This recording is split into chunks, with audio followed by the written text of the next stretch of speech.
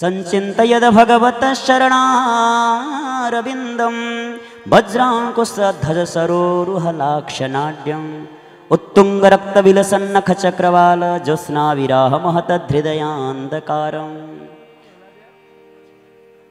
यो घोर, यो नरक रूपी हाँ यो चौरासी लाख चक्कर योनिबाट छुटकर पाउनको लागि भगवान्को चरणारविन्दको सबैभन्दा पहिला भगवान्को ध्यानमा बस्नु ध्यान गर्दाखेरि कहाँबाट सुरु गर्ने त भन्दा सबैभन्दा पहिला चरणारविन्दको ध्यान गर्नु त्यसपछि भगवान्का एक अङ्ग प्रत्यङ्गहरूको आँखा बन्द गरेर मनभित्र अङ्ग प्रत्यङ्गहरू एक एक गर्दै गर्दै गर्दै गर्दै, ध्यान गर्दै जानु। भगवान्को त्यो दिव्य छविलाई भगवान्ले मुसुक्क मुस्कुराउँदै गरेको त्यो दिव्य छविलाई आफ्नो हृदयमा सजाउँदै जानु। बस प्रभु परमात्माको जब कृपा हुन्छ, सहजैसँग त्यो धामको हामीलाई प्राप्ति भनेर बडा दिव्य तरिकाले कपिलदेव भगवान ने भगवान्ले साङ्ख्य योगको यहाँ माताजीलाई श्रवण गराउनु हो। यही ज्ञान आर्जन गर्दै देवहुती माताको शरीर पग्लिन थाल्यो अरे। बस त्यहाँबाट नदी बनेर बग्न थाल्यो जसलाई सिद्धिदा नदी भनेर भन्ने गरिदिन्छ। देवहुती माताको शरीरबाट बस त्यो पग्लेर शरीर पग्लेर बगे नदी बनेर बग्यो बस त्यो नदीलाई सिद्धिदा नदी नामले चिनिन्छ। बोले भक्तवत्सल भगवानको अब कपिलदेव भगवान पनि गङ्गा सागरमा गएर बडा दिव्य तरिकाले तपस्या गरेर बस्न थाल्नुभयो बोले कपिल अवतार भगवानको अब अगाडि गएर सृष्टिकै क्रममा मनस्तो शतरूपायां तिस्र कन्या च जगिरे आकुति देवहूतेश प्रसूते व्यतिरुश्रुतः। स्वयंभुव मनुका तिनवटा कन्या र दुई भाइ पुत्रहरू भएका थिए। कन्याहरूको नाम थियो आकुति, देवहुति र प्रसुति। छोटकरीमा हामी अब सतीदेवीको भोलेनाथको कथा सुनेर आरतीमा प्रवेश गर्नेछौँ। चार बज्न लागिसकेछ। समय कति छिटो जान्छ थाहा नै पाइँदैन। भर्खरै बसे जस्तो लाग्छ। यहाँ बसेपछि यो घन्टा अलि लामो कमसेकम नब्बे सय मिनटको एक घन्टा भइदियो हुन्थ्यो जस्तो लाग्छ क्या मलाई। केही भन्नै भ्याइँदैन। बोले श्याम सुन्दर भगवानको स्वयंभुव मनुका तिनवटी कन्या आकुति देवहुति प्रसूति, दुईवटा पुत्रहरू प्रियव्रत र उत्तानपाद आकुतिको विवाह जेठी पुत्री आकुतिको विवाह रुचि प्रभा, प्रजापतिसँग भयो, जहाँबाट यज्ञ पुरुष नारायण प्रकट हुनुभयो। माइली छोरी देवहुतिको विवाह कर्दम ऋषिसँग भयो, जहाँबाट भर्खरै हामी सुन्यौँ कपिलदेव भगवानको जन्म भयो। कान्छी छोरी प्रसुतिको विवाह दक्षसँग भयो। ब्रह्माजीको बुढी औँठाबाट दक्षको प्रकट भएको दक्ष प्रजापति। प्रजापति पछि पद मिल्ने हो, उनको नाम दक्ष मात्रै हो पहिला। दक्ष प्रजापति त्यो दक्षसँग जब प्रसुतिको विवाह भयो, उनीहरूबाट सोह्रवटै कन्याहरूको जन्म भयो अरे। त्रयोदशाया धर्माय तथैका मग्नये विभुः। पितृभ्याम ए पितृभ्य एका मुक्तेभ्यो भवा एकां भवक्षिदे। प्रसुति र दक्षबाट सोह्रवटी कन्याहरूको जन्म भयो। तिनीहरूमध्येमा तेह्रवटी कन्याको विवाह धर्मराजसँग गरिदिए दक्षले। ध्यानसँग सुन्नु है राति प्रश्न गर्छु मैले। तेह्रवटी कन्याको विवाह धर्मराजसँग गरिदिए। एउटीको विवाह स्वधा नाम गरेकी कन्याको विवाह पितृसँग भयो। स्वाहा नाम गरेकी कन्याको विवाह, कोसँग भयो अग्निसँग भयो। यस्तै प्रकारले कान्छी पुत्री रहिन् सती सतीको विवाह भगवान् भोलेनाथसँग भयो। कतिजना ज्वाइँ भएछन्, दक्षका? कतिजना हुनु भए? चारजना।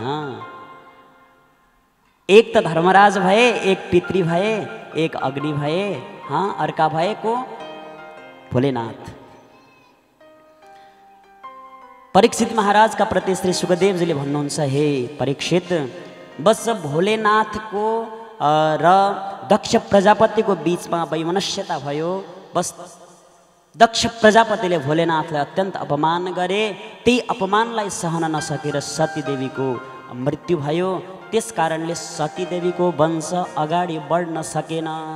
भोले भक्तवत्सल भगवानको। अब यो कथा यहाँहरूले धेरै सुन्नुभएको छ स्वस्थानीमा पनि। तर स्वस्थानी र भागवतमा थोरै केही फरक छ प्रसङ्गहरू, केही केही चिजहरू। जस्तै दक्ष प्रजा, दक्ष प्रजापतिको श्रीमतीको नाम बिरिडी भनेर लेखिएको छ। यहाँ प्रसुति नामले पुकारिएको छ। कल्प कल्पको भेद हुन्छ पुराणहरूमा। अब केही चिजहरू फरक भेटिन्छन् स्वस्थानीको भन्दा। धेरै कथाहरू मिल्न जान्छ। यहाँहरूले धेरै सुन्नुभएको यो सब प्रसङ्गलाई म संक्षेपमा अगाडि बढेर कथालाई विश्राम गर्नेछु। भोले हरिहर भगवानको श्याम सुन्दर भगवानको। सज्जन एक दिनको कुरा हो। ब्रह्माजीले आफ्नो पुत्र दक्षलाई एउटा प्रजापति पद दिनुभएछ। अहिलेको प्रधानमन्त्री भने जस्तै बडा विशिष्ट पद थियो प्रजापति भन्ने। त्यहीँबाट दक्षलाई दक्ष प्रजापति भनेर पुकार्न थालियो। बस त्यही दक्ष प्रजापतिको स्वागतका निम्ति एउटा समारोहको आयोजना गरिएको थियो। समारोहमा सारा देवी देवताहरू आएका थिए सबै सबैजना। दक्ष प्रजापति उताबाट आउँदै गरेको देखेर सबैजना उठेर स्वागत सम्मान गरे कथा यहाँहरूले सुन्नुभएकै छ। बस ब्रह्मा विष्णु महेश उठ्नु भएन। दक्ष प्रजापतिले हेऱ्यो विष्णु उठ्नु भएन ठिकै छ मेरो पितामह हुनुहुन्छ। ब्रह्मा उठ्नु भएन ठिकै छ मेरो पिता हुनुहुन्छ। तर यो शिव यो त मेरो ज्वाइँ हो। यसले त मेरो सेवा सत्कार गर्नुपर्ने मेरो सम्मान गर्नुपर्ने किन उठेन? अत्यन्त क्रोधित हुन थाल्यो। तुरुन्तै गएर पहिलो सम्बोधन गर्दै सभामा भन्छ सूर्यताम ब्रह्मर्षयो मे सहदेवाः शवाग्नयः। साधूनां ब्रुवतो वृत्तं नाज्ञानान्न चमत्सरा सबैले भन्छ हे श्रोताजन हो हे दर्शक दर्शक वृन्द ध्यानसँग सुन्नु एउटा कुरा। जहाँ सभ्य समाजमा सभ्य व्यक्तिहरूको बिचमा सबैजना सभ्य व्यक्तिहरू नै आएको स्वभाव हुन्छ। हाँसको बिचमा कुनै भकुल्लो आयो भने त्यसको स्वभाव हुँदैन। त्यस्तै चाहिँ हाम्रो यो सभ्य समाजमा सभ्य सभामा आज यो अत्यन्त अभे अमङ्गल भेषधारी यो शिव यो मसान घाटमा बस्ने अनेक अनेक प्रकारका त्यो गाली मैले यहाँबाट भन्न सक्दिनँ। अनेक प्रकारका गालीहरू आज दक्ष प्रजापतिले भोलेनाथलाई दियो। बस नजिकै बस भगवान्का नन्दी भगवान्का गणहरू नजिकै थिए सहन सकेनन्। गाली दिँदा दिँदै दिँदा दिँदै दक्ष प्रजापतिले भगवान् भोलेनाथलाई पहिला श्राप नै दियो। आजको उपरान्त यो अमङ्गल भेषधारी यो शिवलाई देवताहरूको बिचमा साथमा कुनै भाग नमिलोस् भनेर। नन्दीले सहन सकेनन् दक्ष प्रजापतिलाई श्राप दिन्छन्। अरे दुष्ट हे दक्ष प्रजापति, जबदेखि मैले देखेको छु, बग बग बग बग बग बग छस्, यस्तो कार्य त एउटा बोकोले गर्दछ, बस तेरो शिर बोकाको हुनेछ। अनेक त्यहाँ बडा भयङ्कर सरापा श्रापीहरू हुन थाल्यो, बस भोलेनाथले आफ्ना गणहरूलाई साथमा लिएर जानुभयो। त्यो दक्ष प्रजापतिको त्यो मनमा त्यो एक अझै मेटिएन। दक्ष प्रजापतिले भोलेनाथलाई अपमान गर्ने उद्देश्यले एउटा यज्ञको आयोजना गर्यो। त्यो सो यज्ञमा सारा देवी देवताहरूलाई निमन्त्रणा गरियो। भोलेनाथलाई र सतीदेवीलाई उसले निमन्त्रणा दिएन बोलाएन। सारा देवी देवताहरू अब त्यो कैलाशको मार्ग हुँदै हुँदै जब आउँदै थिए सतीदेवीलाई थाहा भयो पिताजीको घरमा यज्ञ छ हुँदै भन्ने यज्ञ हुँदैछ भन्ने कुरा। सतीदेवीलाई नारदले बताउनु भयो भन्ने कुरा आउँछ सत्स स्वस्थानीमा। तर यहाँ कुनै बहिनीहरूले बताइदिए पिताजीको घरमा यज्ञ हुँदैछ तिमीलाई जानु पर्दैन।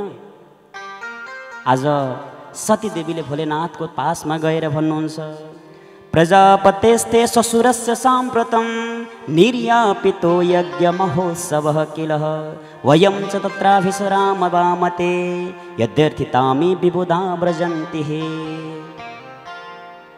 हे स्वामीज्यू हजुरको ससुरालीमा हजुरको ससुराज्यूले मेरो माइतीमा भन्नु भएन। केही राम्रा कुराहरू हुन्छन् केही प्रशंसनीय कार्य हुन्छ भने आजकलका दिदीबहिनीहरूले है मेरो माइती यस्ता मेरो माइतीमा यस्तो उस्तो भने एउटा अभिमान हुन्छ अरे कतै कतै। तर सती माताले त्यो भन्नु भएन। के भन्नुभयो हे स्वामीज्यू हजुरको ससुरालीमा हजुरको ससुराज्यूले ससुरा बुवाले विशाल यज्ञको प्रारम्भ गर्नुभएको छ अरे। सबैजना गएका छन्। हामी पनि त्यहाँ यज्ञमा भाग लिन जानुपर्छ। भोलेनाथले भन्नुभयो देवी जान त पक्कै पनि जाउँला। यज्ञबाट निमन्त्रणा आएको छ र हामीलाई? ठुला ठुला कार्यहरू गर्दा सामान्य कोही कोही कुराहरू महत्त्वपूर्ण कुरा पनि भुलिएको हुनसक्छ। महत्त्वपूर्ण ठाउँमा निमन्त्रणा पठाउँछु भन्दा भन्दै भुलिएको हुनसक्छ। त्यही भएको होला हे स्वामीज्यू। पक्कै पनि पिताजीले हामीलाई नपठाउनु भएको होइन। लिएर आउनेवालाले भुल्यो होला बिचैमा कतै केही गडबड भयो होला। हामी गयौँ भने अत्यन्त प्रसन्न हुनुहुन्छ। हामी पनि जाउँ सबै दिदीबहिनीहरू गएको ठाउँमा सर देवी देवताहरू गएको ठाउँमा।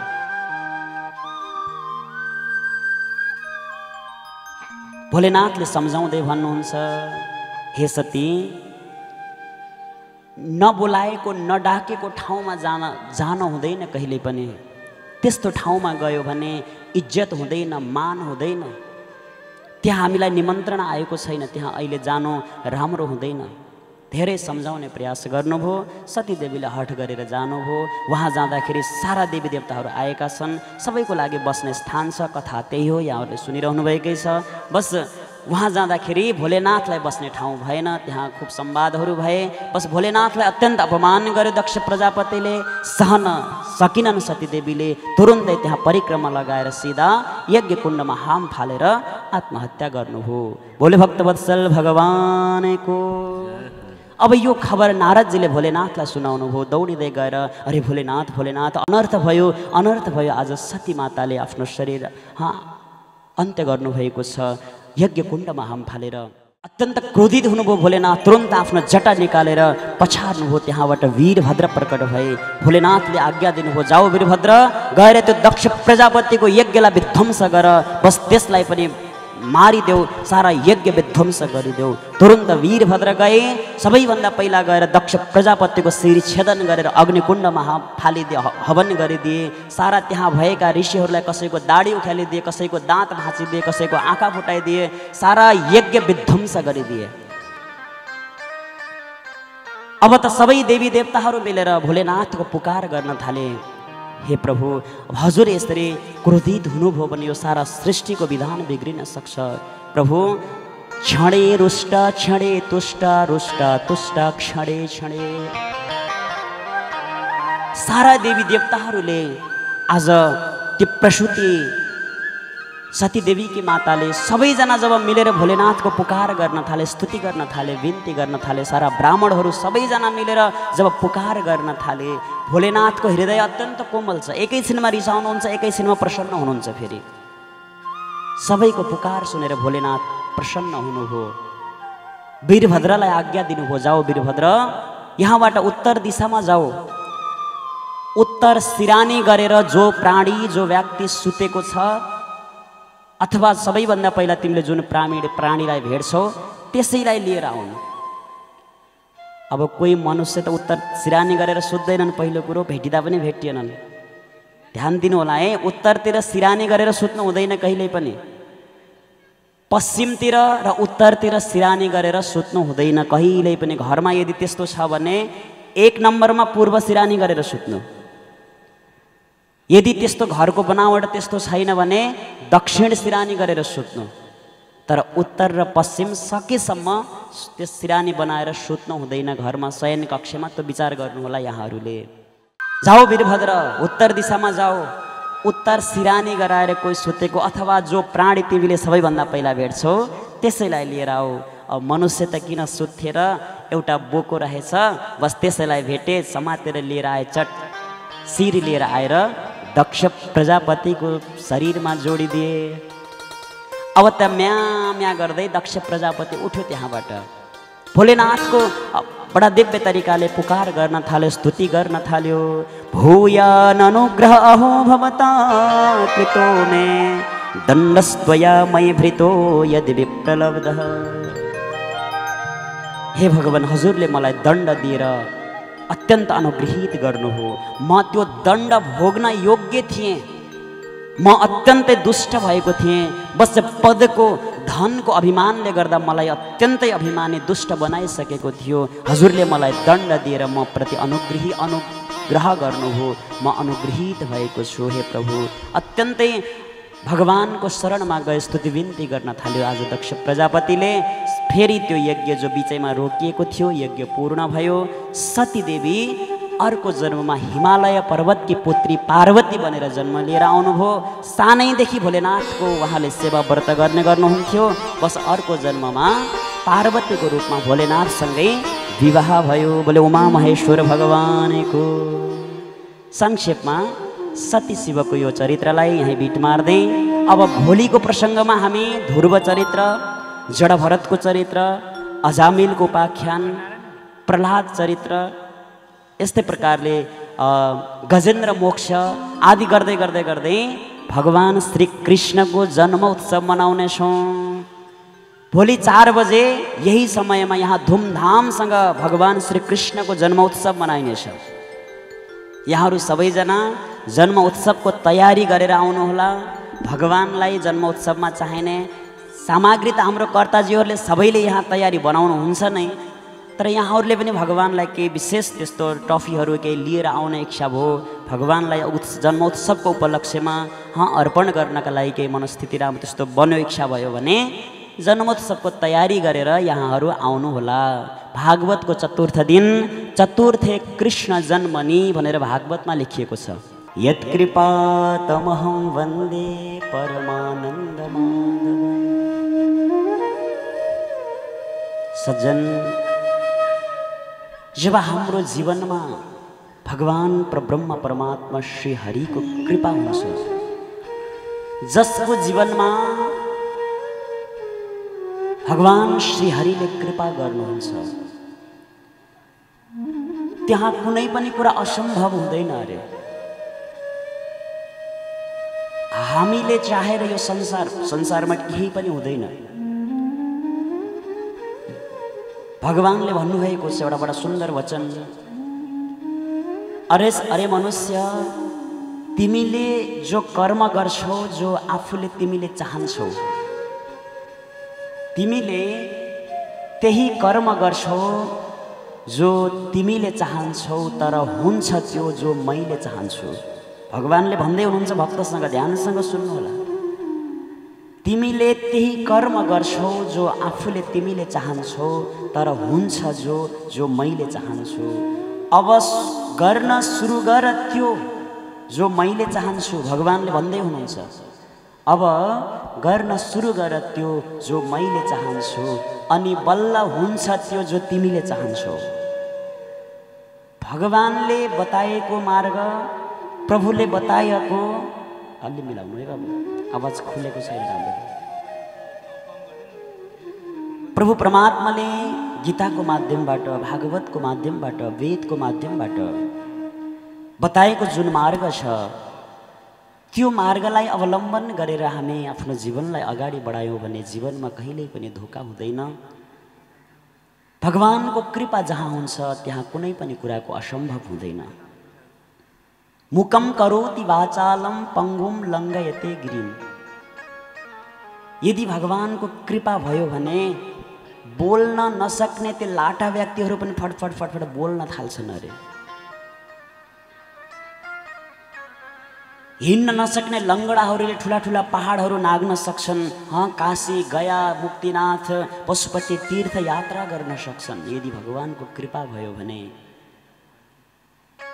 गरल सिधा सु गरल सुधारिपु करै मिताई गोपद सिन्धु अनल शीतलाई तुलसीदासजी महाराजले भन्नुभएको छ भगवान्का भक्तहरूलाई गरल सुधारिपु यदि कोही शत्रुले विष ल्याएर दिए भने पनि भगवान्ले त्यसलाई अमृत बनाइदिनुहुन्छ अरे ज्वलन्त उदाहरण महाभारतमा छ कौरवहरूले भीमलाई विषको लड्डु खुवाउन थालेका थिए लड्डु खुवाएर नदीमा फ्याँकिदिएका थिए। भगवान्ले त्यहाँबाट बचाउनु हो। भीम त्यहाँबाट आउँदा झन् दस हजार हात्तीको बलशाली वज्रको जस्तो शरीर बनाएर भीम आएका थिए। गरल सुधारीको करै मिताई भगवान्को कृपा जसलाई हुन्छ बस शत्रुहरू आफै बस पर्छन् मित लगाउनको लागि आउँछन्। अरे हजुर हजुर भन्दै। गोपद सिन्धु अनल शीतलाई अनि यो विशाल यो भवरूपी सागर छ सज्जन भगवान्का भक्तहरूलाई यो भवरूपी सागर यो विशाल सागर कस्तो हुन्छ त भन्दाखेरि गोपद भनेको वर्षातको समयमा जमिन चिसो गिलो भएको बेलामा हामी गाई चराउन लिएर जान्छौँ जङ्गलमा।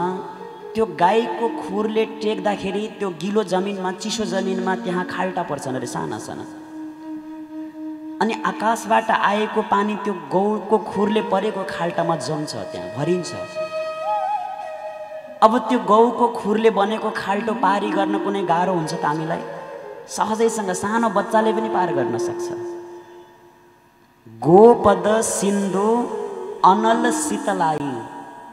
बस यो भवरूपी विशाल जो सागर छ भगवान्का भक्तलाई त्यो सामान्य गौको खुरले भएको खाल्टो पार गर्न कुनै गाह्रो हुँदैन। भवरूपी सागर तर्न केही समस्या छैन कुनै गाह्रो छैन। दन दन दन दन धन्किँदै गरेको अग्नि पनि शीतल बन्न थाल्दछ। यस्तो यो भगवत मार्ग भगवान्को यो महिमा छ। पूर्व प्रसङ्गमा हामी चतुर्थ स्कन्द भागवत अंतर्गत बडा दिव्य सती चरित्र श्रवण गऱ्यौँ स्वयंभुव मनुका। सन्तानहरूकै विषयमा हामी अगाडि बढिरहेका छौँ, प्रसङ्गलाई श्रवण गरिरहेका आज ध्रुव चरित्र, यस्तै प्रकारले पृथु चरित्र, प्रियव्रत राजाको चरित्र, जडभरत, अजामिल, प्रहलाद चरित्र सँगसँगै हामी आज दिवाकालीन सत्रको कार्यक्रममा यहाँ धुमधामसँग भगवान् श्रीकृष्णको जन्मोत्सव मनाउनेछौँ। भागवतमा लेखेको छ चतुर्थी कृष्ण जन्मनी। चतुर्थ दिनमा भगवान् श्रीकृष्णको जन्म हुन्छ भागवतको जुन साप्ताहिक पाठको विधानद्वारा। त्यही विधिमा रहेर त्यही विधानमा रहेर हामी आज दिवाकालीन सत्रमा ठिक चार बजे पौने चार बजे यहाँ धुमधामसँग भगवान् श्रीकृष्णको जन्मोत्सव पनि मनाउनेछौँ। अहिले दिव्य यहाँ ध्रुव चरित्र अन्तर्गत परीक्षितजी महाराजले प्रश्न गर्नु हो हे गुरुदेव भगवान्ले कस्ता व्यक्तिलाई भगवान्लाई प्राप्त गर्नका लागि के चाहिन्छ? साना साना बालकहरूले भगवान्लाई प्राप्त गर्न सक्छन् कि सक्दैनन्? धेरै उमेर बाँचेको धेरै तपस्या गरेको धेरै पूजा आजा साधना गर्ने के कस्तो व्यक्ति चाहिन्छ भगवान्लाई प्राप्त गर्नका लागि? यो उत्तर दिँदै यो ध्रुव चरित्र दिव्य श्रवण गराउनुहुन्छ। जाये उत्तान पादस्य सुनिति सुरुचिस्तयोः। सुरुचि पेयसे पत्युर्नेतरा यत् सुतो ध्रुवः। स्वयंभुव मनुका तिनवटा पुत्रीहरू थिए दुईवटा पुत्रहरू थिए आकुति देवहुति प्रसुतिको चरित्र हिजो हामीले श्रवण गऱ्यौँ भने आज पुत्रहरू प्रियव्रत र उत्तानपातको चरित्र आज हामी श्रवण गर्दछौँ। उनीहरूमध्येमै प्रियव्रत राजाको चरित्र पञ्चम स्कन्दमा आउँछ। यो चतुर्थ स्कन्दमा उत्तानपाद राजा को थिए त भन्दा पहिला त अत्यन्त भक्त थिए, पराक्रमी थिए, यशस्वी थिए, तपस्वी थिए। एक समयको कुरा हो, सज्जन। कुनै जङ्गलको मार्ग हुँदै कतै जाँदै थिए, एउटा गणिकासँग उनको भेट भएछ। सङ्गतको प्रभाव कस्तो हेर्नु होला यहाँ। भागवतमा श्री सुखदेवजी महाराजले त्यही भएर सबैभन्दा पहिला सङ्गतलाई जित्नु जितासनो जित श्वासो जित सङ्गो त्यो सङ्गतलाई जित्न सक्नुपर्छ भनेर भन्नुभएको थियो। महाराज पराक्रमी उत्तानपाद एउटा गणिकाको सङ्गतमा परे। हेर्दा अत्यन्त सुन्दरी थिइन्। मोहित भए बस विवाहको प्रस्ताव आयो प्रस्ताव गरे एक आपसमा कुरा मिल्यो। घरमा जेठी रानी थिइन् सुरु सुनीति नाम गरेकी जबसम्म सुनीति जीवनमा थिइन् जीवन राम्रै चलेको थियो सब संस्कार राम्रै बसेको थियो सब राम्रो चलिरहेको थियो। जब सुरुचि जीवनमा आउँछिन् त्यसपछि जीवन बर्बाद हुन्छ। वेदान्त हिसाबले हेर्ने हो भने उत्तानपाद भनेको अरू कोही होइन तपाईँ अनि हामी सबै उत्तानपाद हौँ। ऊर्धौ पादौ यस्यशः उत्तानपाद। उत्तानपाद भनेर कसलाई भनिन्छ भन्दा जसको शिर तल हुन्छ पाउ माथि हुन्छ। त्यसलाई उत्तानपाद भनिन्छ। अब हामी सबैजना जन्मिने बेलामा मातृगर्भबाट जन्मिने बेलामा सबैभन्दा पहिला शिरै तल भएर आउँछ अरे क्या? शिर जन्मिन्छ पहिला। पाउ माथि हुन्छ। त्यो भएर हामी सबैजना उत्तानपाद हौँ। अनि हामी सबैका दुईवटा श्रीमती छन् अरे।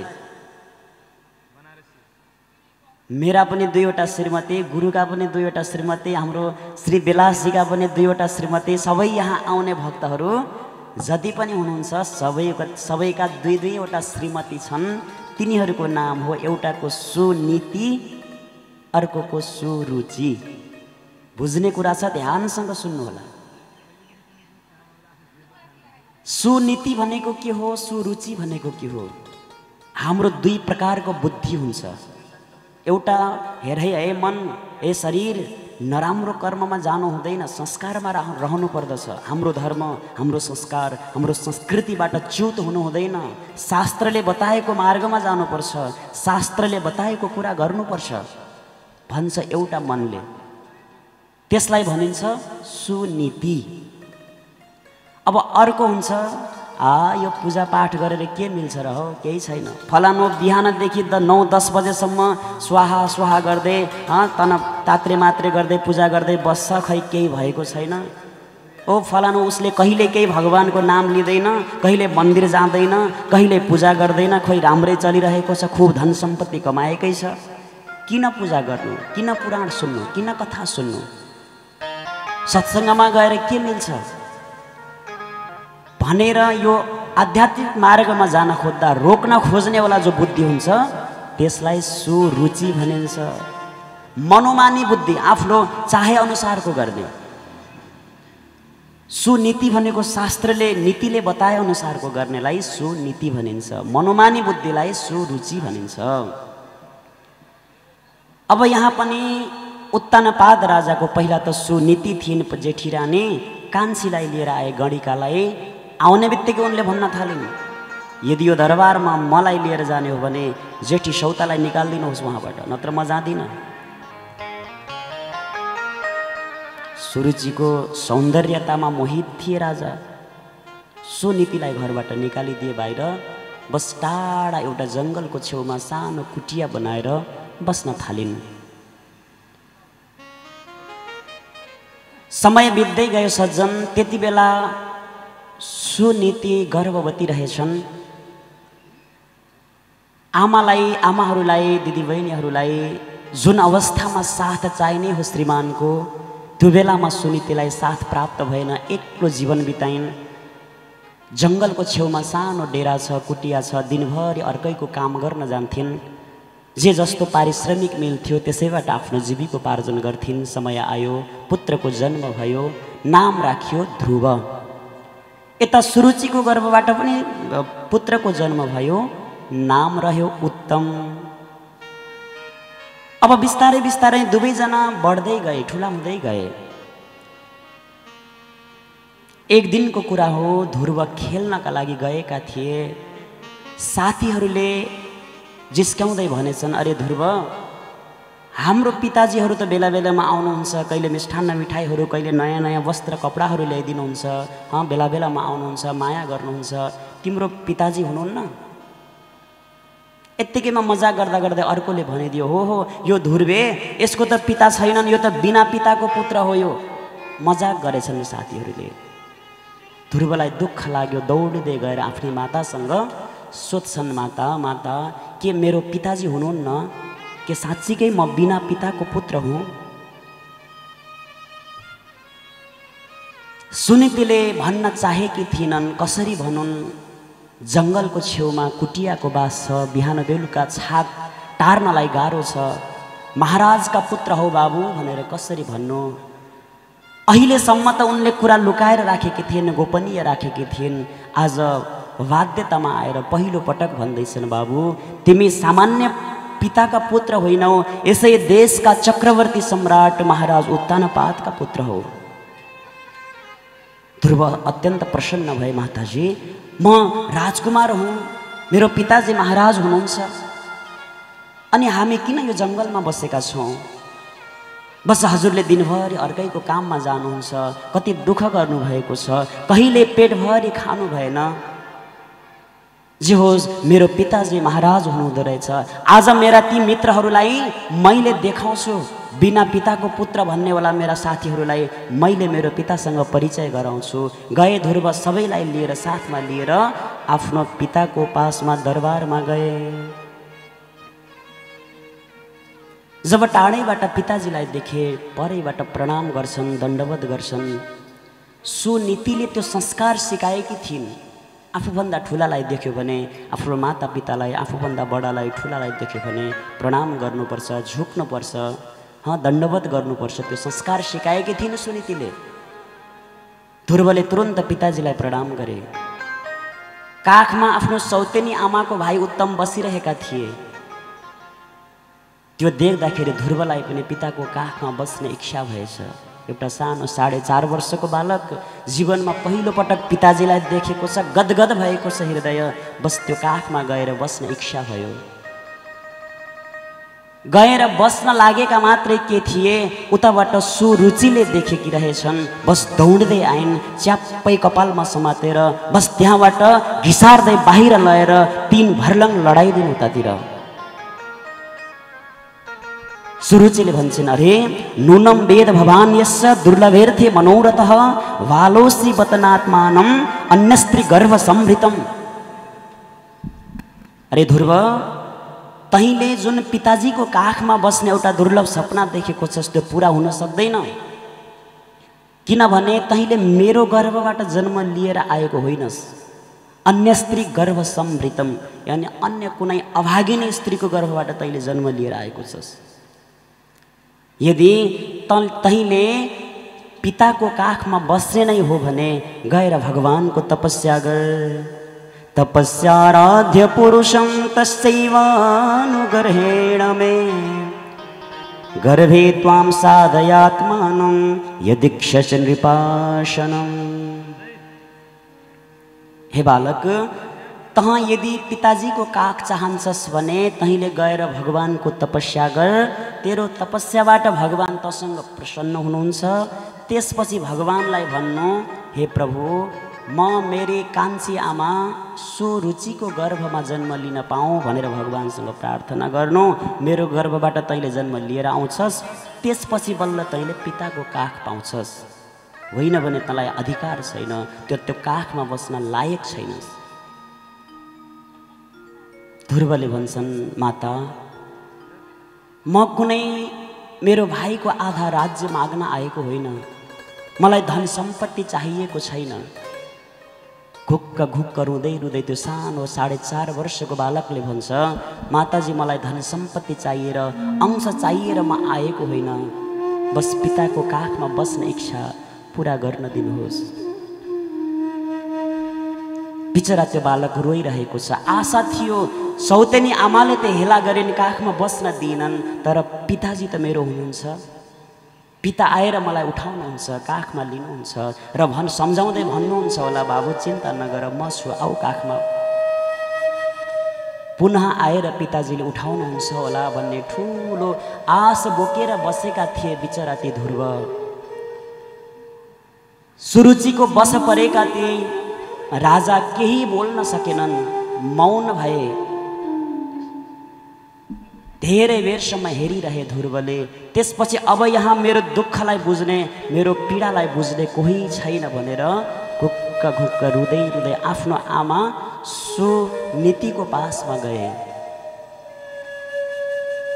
सुनीतिले पहिल्यै ध्रुवका मित्रहरूको द्वारा थाहा पाइसकेकी थिइन्। ध्रुवलाई आज सुरुचिले सौतेनीले कुटी बेस गरी चाहिने नचाहिने वज्ररूपी बाँड पार प्रहार गरेकी छ। मेरो बालक अत्यन्त दुखी भएको छ भन्ने कुरा सुनेर भित्रै ढोका बन्द गरेर खुब डाको छोडेर रोइन् जब ध्रुव आए। बस केही नभएको जस्तो गरेर तुरुन्तै सुनितिलाई लाग्छ मेरो बाबुको सहारा अरू कोही पनि छैन। उसको अगाडि म पनि रोएँ भने उसको आत्माबल अझै घट्छ। उसलाई कसले सम्झाउने? बस आफ्नो हृदयमा पत्थर राखेर गएर भन्छन् अरे बाबु के भयो तिमीलाई? किन रोइरहेकी छौ यसरी? रोइरहेका छौ? बिचरा त्यो ध्रुव रुँदै रुँदै भन्छन् माताजी म पिताजीको काखमा बस्न लागेको थिएँ सौतेनी आमाले च्याप्पै कपालमा समातिन् हिसारेर लगेर तिन भर्ल्याङ लडाइन् त्यतिले मात्रै भएन कुटिन् त्यतिले मात्रै भएन वज्ररूपी ब्राण वाकरूपी ब्राणले प्रहार गरिन्। बस मेरो हृदय छिया छिया भएको छ विदीर्ण भएको छ। के भनिन् बाबु? आमाले तिम्री म सौतेनी आमाले के भनिन्? त पिताको काखमा बस्न लायक छैनस्। त कुनै अभागिनीको कोखबाट जन्म लिएको होस् भनिन्। माताजी अरू सबै कुरा मैले सहन सक्छु तर मेरो आमालाई कसैले अभागिनी भनोस् कसैले दुर्भागिनी भनोस् मैले यो कहिल्यै पनि सहन सक्दिनँ। ती सुरुचिले हजुरलाई अभागिनी भन्छन् हजुरलाई दुर्भागिनी भन्छन्। भगवान्को तपस्या गरेर भगवान्लाई प्रसन्न गराएर अनि बल्ल भगवान्को काख पाउँछस् भन्छन्। सज्जन यहाँनिर सुरुचिले भगवान्लाई र भगवान्को भक्त दुवैलाई अपमान गरेकी छ। यदि कसैले तपस्या गरेर भगवान्लाई प्राप्त गर्यो भने फेरि यो गर्वको दुःख कसले खोज्छ र? बस सिधै मुक्तिको चाहना गर्छ। उसले त आफ्नो गर्वलाई भगवान्भन्दा अझै ठुलो मानि त्यहाँनिर। तर सुनीति संस्कारवान हुनुहुन्थ्यो। आफ्नो बाबुलाई सम्झाउँदै भन्नुहुन्छ मामङ्गलं तात परे सुमंस्था। भुङ्क्ते जनोय परदोखदस्ता। बाबु आखिरी सुरुचि पनि त तिम्रै आमा हुन्। आमाको अधिकार हुन्छ बालकलाई कहिले पिट्ने कहिले सम्झाउने माया गर्ने। यस्तो सानो कुरालाई लिएर दुःख मान्नु हुँदैन। र अर्को कुरा ठिकै पनि त भनेकी छन् सुरुचिले। मैले त अहिलेसम्म तिमीलाई आफ्नो पिताको परिचय समेत दिन सकेकी थिइनँ तर तिम्रो कान्छी आमाले तिमीलाई परम पिताको परिचय दिएकी छन्। र उनले मलाई दुर्भागिनी अभागिनी भनेकी रहेछन्। उनले ठिकै भनेकी छन् बाबु। सत्यं सुरुच्या विहितं भवान् मे। यदुर्भगाया उदरे गृहीत्वा। बाबु तिमी साँच्चीकै म अभागिनीको गर्भबाट जन्म लिएर आएका हौ। म कहाँ भाग्यशाली छु र वास्तवमा म त अभागिनी त हुँ। ठिकै त भनेकी छन् तिमीले। हामीले कसैको नराम्रो सोच्नु हुँदैन कसैको कुभलो सोच्नु हुँदैन। यदि कसैले अरू कसैको कुभलो सोच्छ नराम्रो सोच्छ अमङ्गल सोच्छ भने उसैको नराम्रो हुन्छ उसैका लागि अमङ्गल हुन्छ। बस हामीले सबैको लागि राम्रै सोच्नुपर्छ। कसैको नराम्रो सोच्नु हुँदैन। सुरुचिले ठिकै भनेकी छन्। तपस्या गर्नु त राम्रो कुरा हो भगवान्को। तिमीले यदि तपस्या गर्यौ भगवान्का भक्त भयो भने मेरो गर्व पनि सार्थक हुन्छ तिमीलाई जन्म दिनुको। मेरो यो त्याग यो मेरो तपस्या सार्थक हुन्छ बाबु। आज ध्रुवले भन्छन् आमा त्यो सानो साढे चार वर्षको बालकले तोतेली भाषामा भन्दैछ आमा हजुर पनि त्यस्तो भन्नुहुन्छ। ठिक छ म उसो भए जान्छु जङ्गलमा तपस्या गर्न।